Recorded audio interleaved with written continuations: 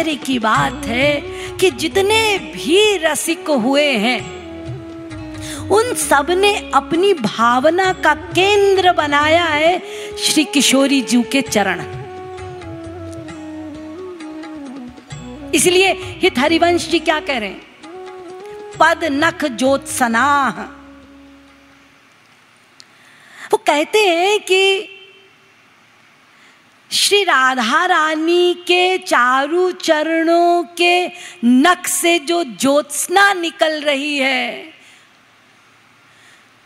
वो चारू चरण, वो ज्योत्सना ही हमारे जीवन का आधार है। जीवन मूर है। हमारा सर्वस्व है। जैसे एक चातक चंद्रमा की ज्योत्सना को एक टक रहता है। ऐसे ही हम रसिक भी किशोरी जू के चरणों की ज्योत्सना को पीने के लिए पल पल आतुर रहते हैं। क्योंकि किशोरी जू के चरणों का ऐसा प्रसाद है, ऐसा महाप्रसाद है कि हित हरिवंश जी कहते हैं अपनी राधा रस सुधा निधि में, कापी सरसा भक्ति चमत्कारिणी यदि कोई किशोरी जू के चरणों का उपासक है, चरणों का पूजन करता है, आराधना करता है, भक्ति करता है तो किशोरी जू के चरणों में यदि कोई आश्रित है तो किशोरी जू की कृपा से उस प्राणी में एक चमत्कृत, विलक्षण, अद्भुत, अदृष्ट भक्ति का उदय होता है। ये कमाल है किशोरी जू के चरणों की उपासना करने का। अरे, स्वयं शंकर जी कह रहे हैं। वो चमत्कृत रस प्रदान करता है। और शंकर जी कहते हैं, हे किशोरी जू, ये चमत्कृत रस मैं पाना चाहता हूँ, इसीलिए मुझे अपने चरणों में स्थान दो। श्री राधा कृपा कटाक्ष में कह रहे हैं मुनीन्द्र वृंद वंदिते त्रिलोक शोक हारिणी प्रसन्न वक्त्र पंकजे निकुंज भूविलासिनी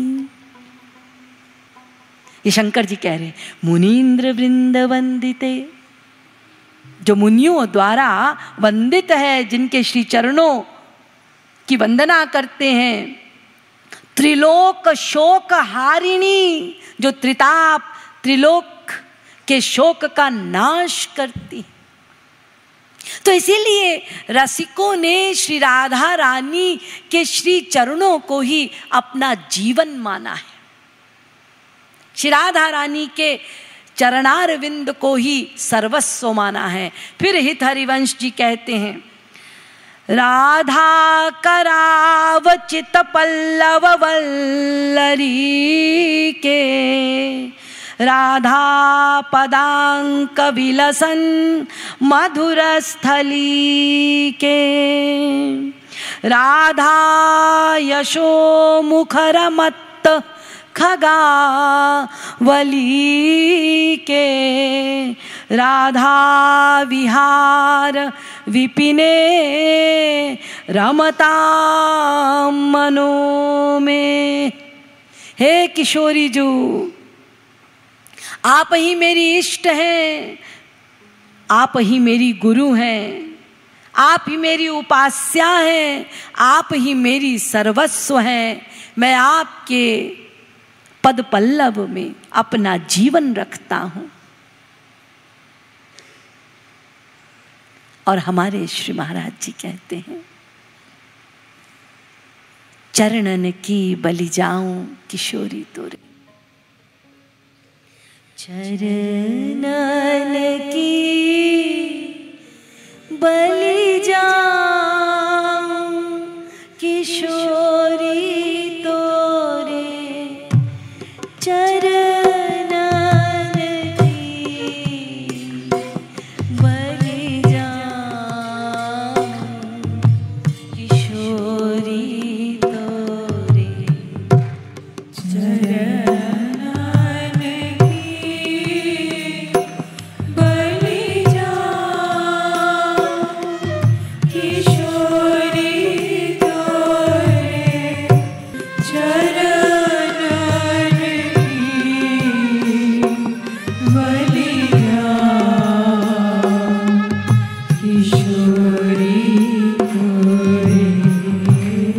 ब्रजेंद्र नंदन, वृंदावनेश्वर श्री कृष्ण जब कुंज निकुंज की सीमाओं में वो वृंदावनेश्वरी नंगे पाँव चलती हैं तो वो वृंदावनेश्वर उनके चरण चिन्हों पर अपना शीश नवाते हैं। उनके चरण रज को अपने मस्तक पर धारण करते हैं। ऐसी महाह्लादिनी शक्ति श्री राधा रानी, वो इतनी दयालु हैं, इतनी कृपालु हैं कि वो दीन अकिंचन को भी अपना लेती हैं। और यहाँ तक कि किंकरी मानकर अपनी सेवा में रख लेती हैं। इसीलिए, हे किशोरी जू, हमें भी अपना कैंकर्य प्रदान करो। हमें भी अपनी किसी सेवा में रख लो। अब रसिकों की ऐसी कृपा प्राप्त हो गई है। उनकी दया कृपा से अब ये चार पदार्थ भाते नहीं। भुक्ति, मुक्ति की भी लालसा नहीं। धर्म, अर्थ, काम, मोक्ष, ये जो पुरुषार्थ, ये अच्छे नहीं लगते। किशोरी, जो मैं मानता हूँ कि मुझमें तो इतनी भी ताकत नहीं है कि मैं कृष्ण की एकांतिक साधना कर सकूँ और उनके रस को प्राप्त कर सकूँ, ये भी मुझमें वो ताकत नहीं है, लेकिन रसिकों की ऐसी दया हो गई है कि हे रसिकनी हे रसिकनी जू, हे रसिक शिरोमणि, रति रस सागर, तुम्हारे नाम गुण लीला का गुणगान करते करते रसिकों की कृपा से अब उसमें ही मन लगने लगा है। अब कोई धर्म अर्थ की लालसा नहीं है। अब तो इसी रस में मन लगता है। यह हमारे गुरु की कृपा है। और तो और, अब तो ऐसी अवस्था हो गई है, हे किशोरी जू। कि आप और रसिकवर, इन युगल नाम, युगल चिंतन, ये आवश्यकता नहीं, अब ये हमारी विवशता हो गई है। क्योंकि अब इनके बिना, इनके चिंतन, ध्यान के बिना रहा नहीं जाता।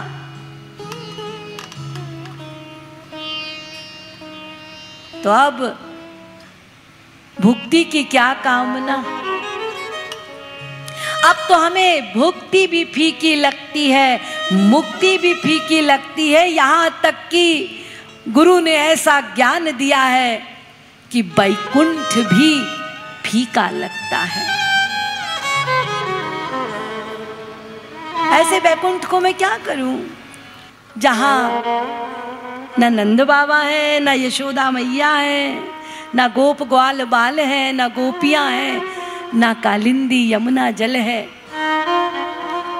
ऐसे बैकुंठ में अब जाने की आकांक्षा नहीं। अब तो एकमात्र वृंदावनेश्वर एवं वृंदावनेश्वरी।